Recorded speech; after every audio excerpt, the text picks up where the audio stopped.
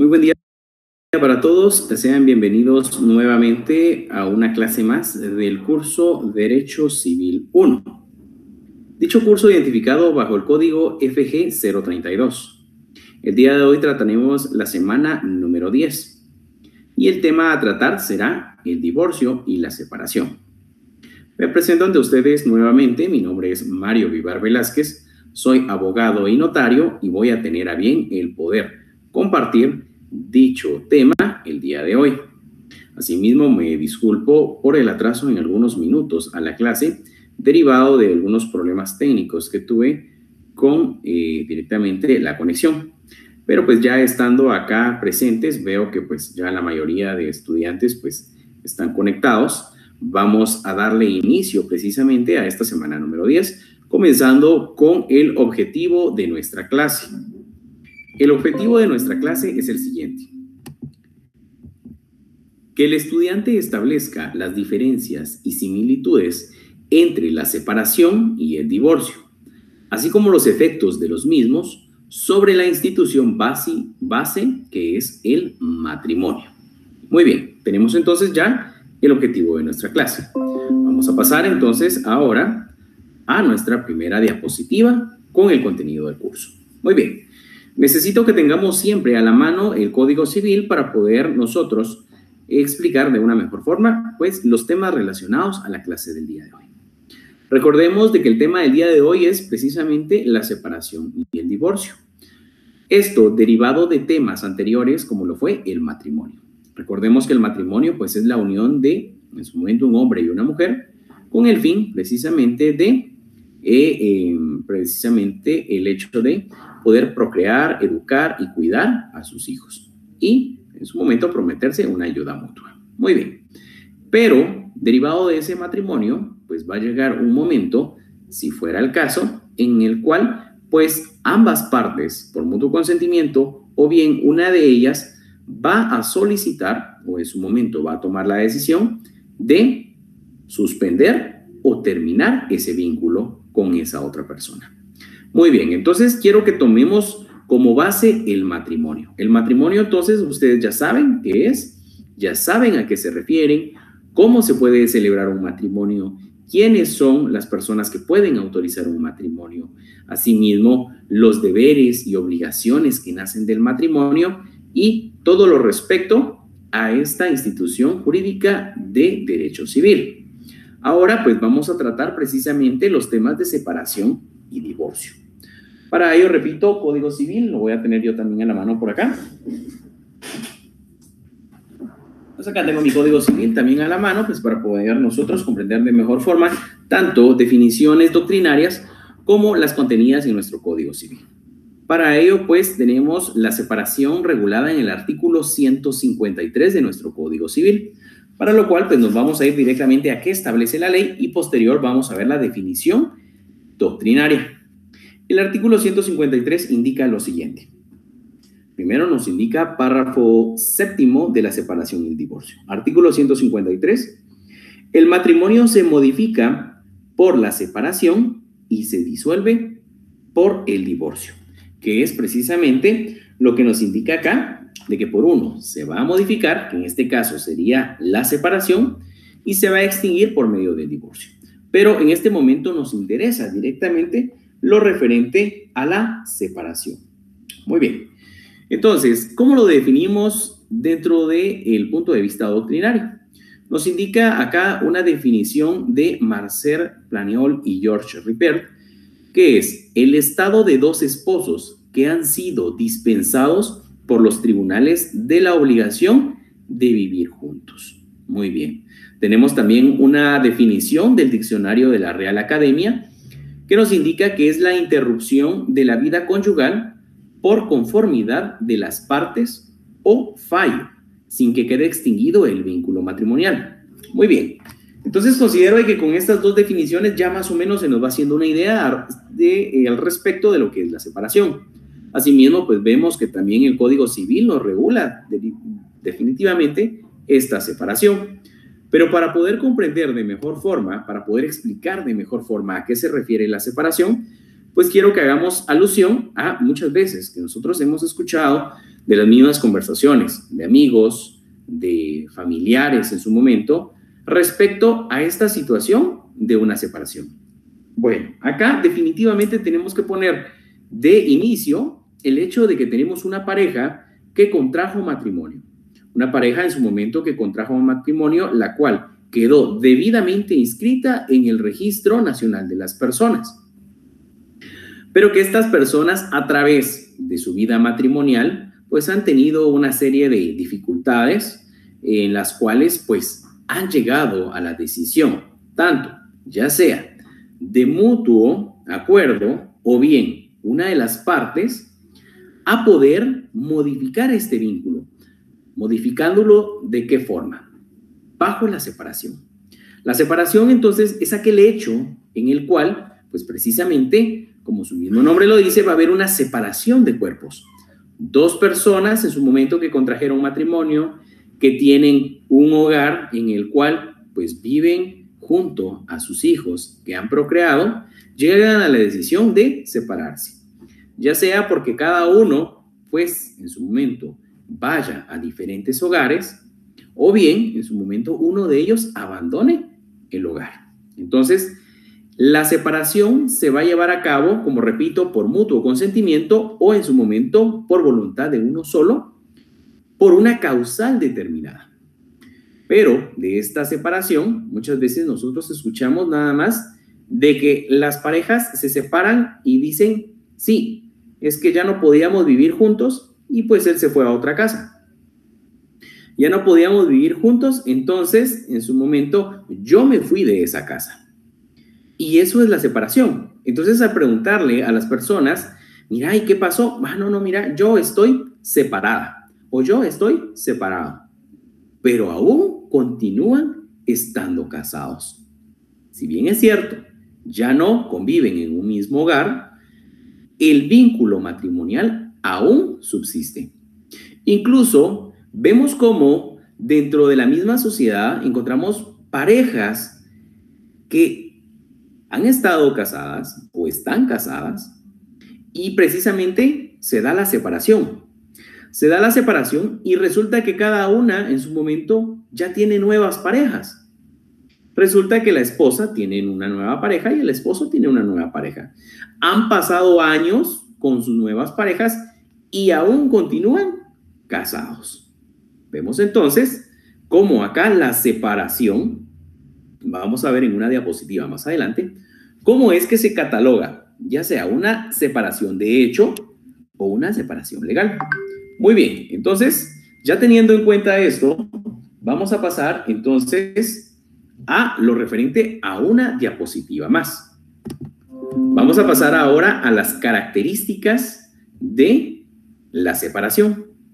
Cuando hablamos nosotros de las características de la separación, definitivamente vamos a ver cómo es que se va a identificar precisamente la separación.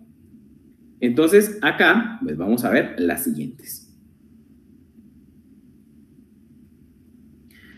El vínculo matrimonial subsiste, nos indica de qué es lo que ya habíamos hablado, de que si bien es cierto, se está separando, se está dando una separación de cuerpos, estamos hablando entonces de que definitivamente el matrimonio aún va a subsistir hasta el hecho de que entonces ya se dé precisamente un divorcio, pues hasta ese momento se va a disolver el matrimonio. Antes no. Entonces, acá, pues vamos a tener, asimismo, dentro de otra de las características, la reconciliación y reanudación de la vida conyugal. Entonces, acá nos indica de que, si bien es cierto, está la reconciliación, es una opción que se puede dar posterior a ver una separación.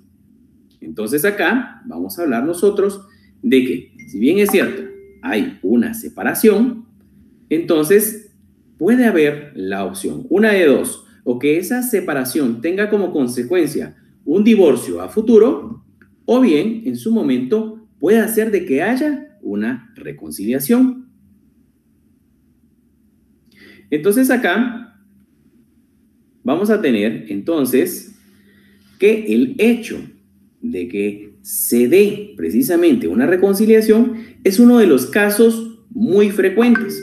Incluso vamos a ver el hecho de que en determinado momento, pues eh, se puede dar que se solicitan medidas de seguridad precisamente porque una causal ha sido violencia y resulta que posterior a ello, pues hay una reconciliación.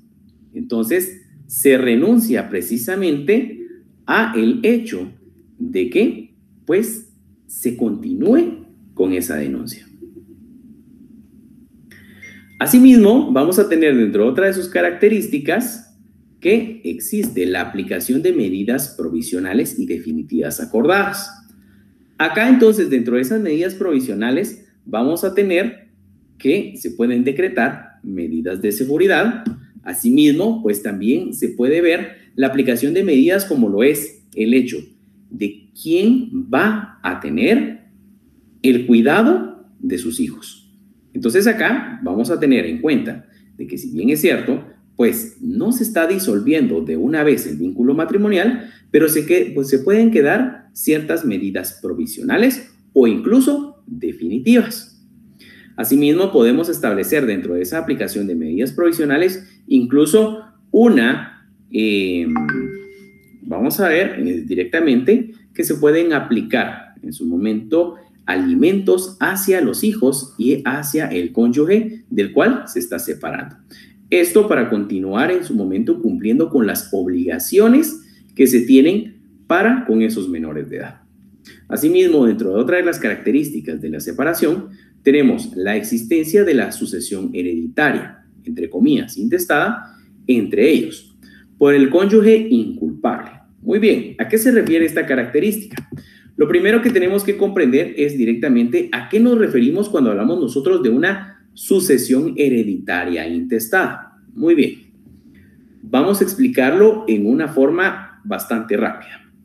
Cuando hablamos nosotros de una sucesión hereditaria, significa de que esta entra a regir cuando una persona fallece.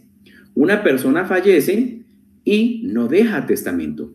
No deja testamento, por lo cual la ley decide cuál va a ser el orden por medio del cual sus bienes y obligaciones, sus derechos, van a pasar a ser parte de un familiar cercano. En este caso, si llegara a fallecer uno de los cónyuges, y no deja en su momento un testamento, indica la ley que debe de trasladarse sus bienes en un 50% a su cónyuge sobreviviente y el otro 50% a sus hijos reconocidos. Entonces, como estas personas aún no han culminado con ese vínculo matrimonial porque no se han divorciado, únicamente están separadas, entonces indica de que si llega a fallecer el otro cónyuge el cual en su momento estaba separado, se tiene derecho a la sucesión intestada, o sea que se tiene derecho al 50% de los bienes. Pero acá en su momento hay una excepción. Nos dice, por el cónyuge inculpable. ¿A qué se refiere eso? Significa directamente de que cuando nosotros estamos hablando de una separación, puede darse el caso de que esta separación se esté dando precisamente porque uno de los cónyuges dio un motivo o una causal de separación, ya sea por malos tratos hacia el otro cónyuge, ya sea por una infidelidad o alguna de otras causas de las cuales, si se llega a probar, automáticamente hace de que este cónyuge sobreviviente ya no tenga derecho precisamente a esa sucesión hereditaria. A eso se refiere entonces la característica de que existe sucesión hereditaria intestada, entre ellos por el cónyuge inculpable. Muy bien, vamos a pasar a una característica más. La esposa puede utilizar el apellido de casada si lo desea. Continuamos entonces indicando de que por el hecho de que no se ha disuelto el matrimonio, que todavía no ha existido un divorcio, precisamente pues la esposa puede, no es obligación, pero puede continuar utilizando el apellido de casada.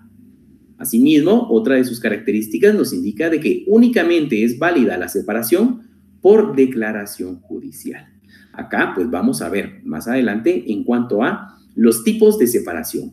Pero muy importante, ya dentro de sus características, es de que válida o en su momento para ejercer efectos jurídicos, únicamente la separación va a ser legal cuando sea declarada judicialmente. O sea, que tenemos que acudir a un juez a indicar precisamente de que están los dos eh, cónyuges de plena voluntad separándose de cuerpos o bien en su momento denunciando una causal del otro para que el juez determine esa separación.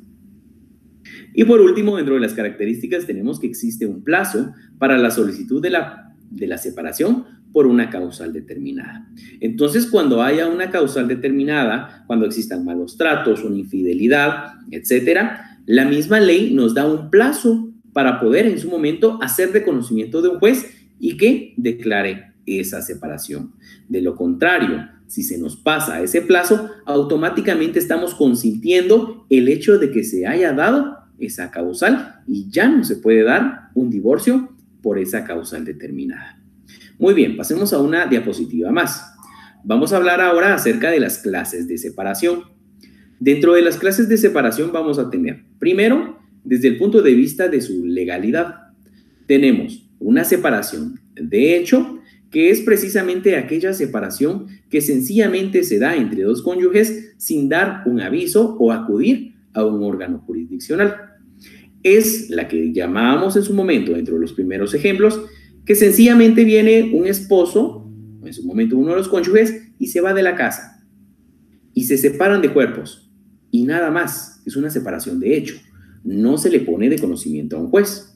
Y por otro lado tenemos la legal. Y la legal sí esta sí, en su momento, se le da de conocimiento a un juez, por lo cual esta es a la que se le llama legítima o legal. Tenemos otra clasificación de separación y tenemos acá desde el punto de vista de su solicitud. Tenemos por un lado de mutuo acuerdo o voluntaria, en su momento que era la que llamábamos en cuanto a que ambos cónyuges están de acuerdo a llegar precisamente a esa separación. O bien está la forzosa o por voluntad unilateral. Pero en esta, la parte en su momento que no está de acuerdo, la parte que está forzando al otro a separarse, debe de tener una causal determinada. Muy bien, entonces ya tenemos las clases de separación. Vamos a pasar ahora a una diapositiva más y vamos a hablar un poco acerca del divorcio. Cuando hablamos del divorcio, nos indica esta definición doctrinaria que es la institución por cuya virtud se rompe o disuelve plena, absoluta y definitivamente el lazo matrimonial de unas nupcias legítimamente contraídas o contra las que no se promovió impugnación, dejando a los esposos en libertad de contraer nuevo matrimonio. Esta es una definición del autor Federico Puig Peña. Muy bien. Ya tenemos entonces ¿A qué se refiere el divorcio? Y vemos entonces que el divorcio sí va a tener como fin el poder disolver ese vínculo matrimonial. Ya no lo va a suspender únicamente, ya no lo va a modificar únicamente, sino lo va a disolver. Es un punto en el cual, pues definitivamente se va a dar incluso, en su momento, pues el hecho de que ante el Registro Nacional de las Personas ya no exista un vínculo con otra persona por el hecho de existir un matrimonio. Entonces el divorcio, pues en su momento ya no va a ser un divorcio de hecho, decir, pues yo me voy de mi casa ya estoy divorciado, sino el divorcio siempre y definitivamente tiene que ir de la mano precisamente de una resolución de un juez. Un juez de primera instancia civil o de familia que va a decretar precisamente la terminación de ese vínculo matrimonial. Y esa sentencia va a ser la que va a ser inscrita en el Registro Nacional de las Personas, indicando de que ese vínculo matrimonial ya llegó a su fin. Asimismo, pues vamos a establecer cierta diferencia entre la separación y el divorcio. Y nos indica esta diapositiva que la principal diferencia entre la separación y el divorcio precisamente es que la separación solo modifica en su momento el vínculo matrimonial, pero el vínculo matrimonial todavía eh, subsiste, todavía existe y todavía va a estar intacto, únicamente se va a modificar. Pero en su momento, el divorcio, el divorcio sí va a disolver un matrimonio, sí le va a dar fin a un matrimonio. Muy bien, pasemos a una diapositiva más. Vamos a hablar ahora acerca de las clases de divorcio. Si nos damos cuenta, si hacemos una comparación entre la separación y el divorcio en cuanto a sus clases, vemos que en las clases de divorcio ya no hay una clase en cuanto a un divorcio de hecho. Eso no existe. Únicamente vamos a ver entonces acá clases de divorcio, primero, de mutuo consentimiento, la cual se encuentra regulada en el artículo 163 del Código Civil, y así vamos asimismo vamos a tener el divorcio forzoso o voluntad unilateral. Está regulada en el artículo 165 del Código Civil. Y cuando hablamos precisamente de este forzoso, estamos hablando de que debe de existir una causal determinada. Dichas causales, nos indica esta misma diapositiva, para obtener el divorcio se encuentran contenidas en el artículo 155 directamente del Código Civil y son aplicables también para la separación. Bueno, veamos entonces a qué se refieren estas causales del artículo 155. Veamos entonces cuáles son las causales para que una de las partes pueda solicitar precisamente ese divorcio por una causal determinada. El artículo 155 entonces nos da las siguientes. Causas. Son causas comunes para obtener la separación o el divorcio. Veamos entonces de que son aplicadas para ambos casos. Tenemos bastantes. Tenemos en su momento 15 causales. Veámoslas rápido en su momento o las más importantes. Número uno, la infidelidad de cualquiera de los cónyuges. Número dos, los malos tratamientos de obra, las riñas y disputas continuas, las injurias graves o ofensas al honor y en general la conducta que haga insoportable la vida en común. Tres, el atentado de uno de los cónyuges contra la vida del otro o de los hijos. Cuatro, la separación o abandono voluntario de la casa conyugal o la ausencia inmotivada por más de un año. Cinco, el hecho de que la mujer dé a luz durante el matrimonio un hijo concebido antes de su celebración, siempre que el marido no haya tenido conocimiento del embarazo antes del matrimonio. 6. La incitación del marido para prostituir a la mujer o corromper a los hijos. 7. La negativa infundada de uno de los cónyuges a cumplir con el otro o con los hijos comunes los deberes de asistencia y alimentación a que está legalmente obligado. 8. La, disipación de la hacienda doméstica. 9. Los hábitos de juego, embriaguez o el uso indebido y constante de estupefacientes cuando amenazaren causar la ruina de la familia o constituyan un continuo motivo de la desaveniencia conyugal. Número 10. La denuncia de delito o acusación calumniosa hecha por un cónyuge contra el otro. 11. La condena de uno de los cónyuges en sentencia firme por delito contra la propiedad o por cualquier otro delito común que merezca pena mayor de 5 años de prisión. 12. La enfermedad grave, incurable y contagiosa perjudicial al otro cónyuge o a la descendencia. Número 13. La impotencia absoluta o relativa para la procreación, siempre que por su naturaleza sea incurable y posterior al matrimonio. 14. La enfermedad mental incurable de uno de los cónyuges que sea suficiente para declarar la interdicción. Y por último, número 15. Asimismo, es causa para obtener el divorcio la separación de personas declarada en sentencia firme. Muy bien, entonces vemos cómo esas 15 causales las, puede, las puede invocar en su momento uno de los cónyuges que se vea afectado por una de ellas. Esto lo va a hacer ver ante un juez. Entonces, cuando se vaya a dar un divorcio, en su momento, de forma unilateral, precisamente se tiene que invocar una de estas causales para que el juez pueda determinar una de dos, o la separación o bien, en su momento, el divorcio. Pero si yo no tengo una de esas causales para poder solicitar en su momento un divorcio, el juez no puede disolver ese, ese, ese matrimonio a menos, como repito, que sea un divorcio de mutuo consentimiento. Muy bien, pasemos a una diapositiva más. Vamos a ver ahora lo referente a los efectos comunes entre el divorcio y la separación. Estos efectos entonces son compartidos entre ambos, compartidos tanto entre el divorcio y la separación. Y acá tenemos lo primero, la liquidación del patrimonio conyugal. Recordemos que la semana pasada platicábamos acerca de las capitulaciones matrimoniales. Las capitulaciones matrimoniales, entonces, mencionábamos que iban a regir la administración y la separación al final de un matrimonio.